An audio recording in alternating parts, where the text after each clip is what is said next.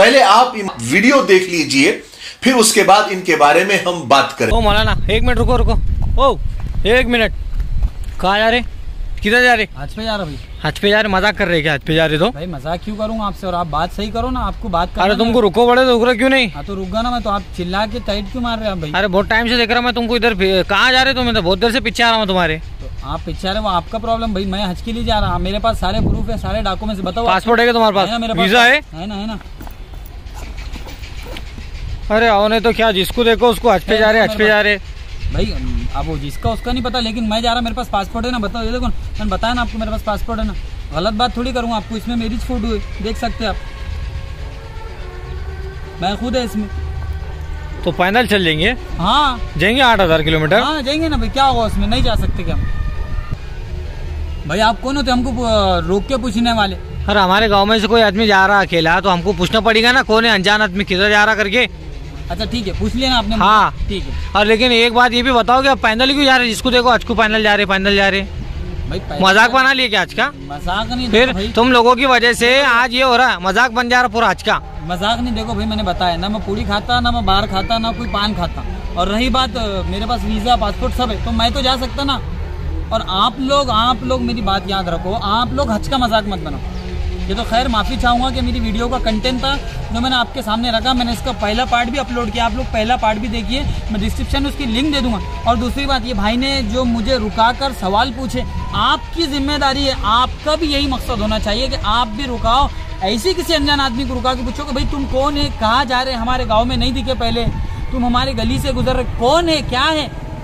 आपकी ज़िम्मेदारी बनती, आपके जिम्मे यह है कि आप पूछो, क्योंकि पूछना आपका काम है। और दूसरी बात कोई भी अनजान आदमी उठा चल रहा मैं कहा जा रहा तो बोले हज को जाना हज का मज़ाक बना रहे। इंसान अपनी नींद को छोड़कर फजर की नमाज़ को नहीं जा सकता तो कसम खुदा की पैदल हज को कैसे जा सकता? शिहाब भाई की बात नहीं कर रहा हूँ। आपकी बात कर रहा हूँ और मेरी बात कर रहा हूँ। पैदल हज को मैं जा रहा ना मज़ाक मैंने बनाया ना आपने बनाया ना हम मिलकर मज़ाक बना रहे तो मैं मेरी और आपकी हम सब की बात कर रहा हूँ। कोई मज़ाक नहीं चढ़ रहे। आप अपनी दुकान छोड़ के जहर की नमाज़ को नहीं जा सकते, आप अपनी नींद छोड़ के फजर की नमाज़ को नहीं जा सकते, ये पैदल हज को जा सकते हैं। पान खा के पैदल हज को जा सकते। और दूसरी बात, मेरी बात हमेशा याद रखना, अपने अमाल को अच्छा बनाओ। उस बंदे ने अपने अमाल को अच्छा बनाया जिसकी वजह से अल्लाह ने उसको कबूल करा। उसके अमाल उसका अल्लाह के साथ, उसका मामला अल्लाह के साथ। आप हज का मज़ाक बनाओ। आप और मैं मिलकर अगर हज का मज़ाक बनेंगे तो इसका कुछ फ़ायदा नहीं होगा। भले ही नुकसान पहुंचेगा। हम अपनी फर्जों को पूरा करो, अपनी फ़र्ज़ नमाज़ को पूरा करो। नमाज़ फ़र्ज़ है। सही मेरी बात बताओ। और हाँ मेरी बात याद से बताना और मैं आपको सबसे आखिरी में ऐसी बात बताऊँगा कि आपके रोंगटे खड़े हो जाएँगे और वो शहाब भाई को वापस लाने वाली बात रहेंगी। वाघा बॉर्डर से पहले ये बात याद रखें। आप अपनी नींद, आखिरी में बताऊँ, आप अपनी नींद को कुर्बान करके फजर की नमाज़ नहीं पढ़ सकते, जहर नहीं पढ़ सकते। नवाफिल तो छोड़ ही दो। इशराक चाँच तवाबीन ये सारी नमाजें तो ठीक है। नवाफिल। आप फ़र्ज़ नहीं मुकम्मल कर सकते तो बाकी का क्या? है हज के लिए जा रहे।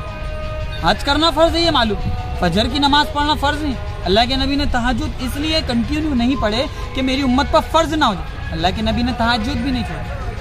एक दो बार इसलिए कि उनकी उम्मत पे फ़र्ज़ ना और जो फ़र्ज़ है उम्मत, वो छोड़कर किसी और फ़र्ज़ के वास्ते वो करे, जिसके बारे में अल्लाह के नबी ने फरमाया कि जिसके पास इस्तेदाद नहीं है, वो हज के लिए जाए। इनकी तमन्ना थी श्याम भाई की तो वो चले गए। और रही बात मैंने आपको बोला था कि लास्ट में एक बात बोलूँगा कि मेरी वीडियो अख्ताम पर है, इसलिए मैं आपको वो वो लगा सकती है, रातों रात दो हज़ार के नोट बंद कर सकती है तो रातों रात शिहाब भाई का जो परमिशन दे वो रोक नहीं सकती। इसके गुनहगार मैं और आप रहेंगे, हम लोग रहेंगे। हम पब्लिक बन के जमा हो जा रहे जिसकी वजह से सारी पुलिस फोर्स आ जा रही, और उसकी वजह से उनको जाना रुक सकता उनका जाना रुक सकता इसलिए मैं आपको बताना चाहूँगा कि आप ऐसा कोई काम ना करें जिसकी वजह से आपकी वजह से वो बंदा रुक जाए। मेरा तड़प कर बोलना, मेरा एक यही बोलना है कि भाई, आपकी वजह से तकलीफ़ तीसरे गुना। आप अगर तकलीफ़ देंगे तो आपकी तकलीफ़ देखकर तीसरा तकलीफ़ में आए उसने नियत कर, बहरहाल उसने एक बात बोले, भी हिंदी नहीं आती बंदे, उसने हिंदी में बोला कि मैं आपके लिए दुआ करूँगा। और आप लोग पीछा कर। मैंने तो उनके लिए दो रकात नमाज़ पढ़ के दुआ करा कि अल्लाह अल्लाह उनको सही सलामत पहुँचा। आप लोग दुआ करो ना। तमाशा क्यों बना रहे? तमाशा बनाने की आदत उनकी है जो तमाशा करते। हम लोग तो अल्लाह के नबी के उम्मत ही है। हम लोग ऐसा करें। इसलिए जो जा रहा उसको जाने दो। और बहरहाल मैं दुआ करता हूँ कि अल्लाह उस बंदे को सही सलामत आ, सही सलामत हज के लिए कबूल फरमाए और उसके रास्ते को आसान फरमाए और उसको सारे तकलीफ़ों से महफूज रखे। उसके पैरों में तकलीफ़ है, जो भी है, अल्लाह उसको सबको उसको शिफाए कामिला, उसकी बीमारियों को उससे दूर रखे। और हम लोग उसके बारे में दो अल्फाज बोले, इसीलिए हमारे से अगर कोई गलती हो जाए तो आप लोग भी उसको माफ़ करें। और शिहाब भाई के ज़्यादा पब्लिक ना सॉरी, और हमारे बोलने में अगर कोई गलती हो जाए तो आप लोग उसको भी माफ़ करो। शिहाब भाई के आजू बाजू ज़्यादा पब्लिक जमा ना करें। क्यों? क्योंकि इसकी वजह ये हो सकती है कि उनको वापस भी बुलाया जा मेरी बात कोई गलत नहीं, मैं जो सही है वो आपको बताना। और फ़र्स्ट पार्ट मैं लिंक डिस्क्रिप्शन में दे दूँगा, आप उसको भी देखो। और जितना हो सके मेरी इस वीडियो को आप ज़रूर बस ज़रूर पहुँचाओ। उस बंदे तक पहुँचाओ जो ये तमाशा कर जो नकली हाजी बनकर ये तमाशा बना रहे ठीक है? चलिए असल वरहमल वर्का बंदे का नाम हिदायत है।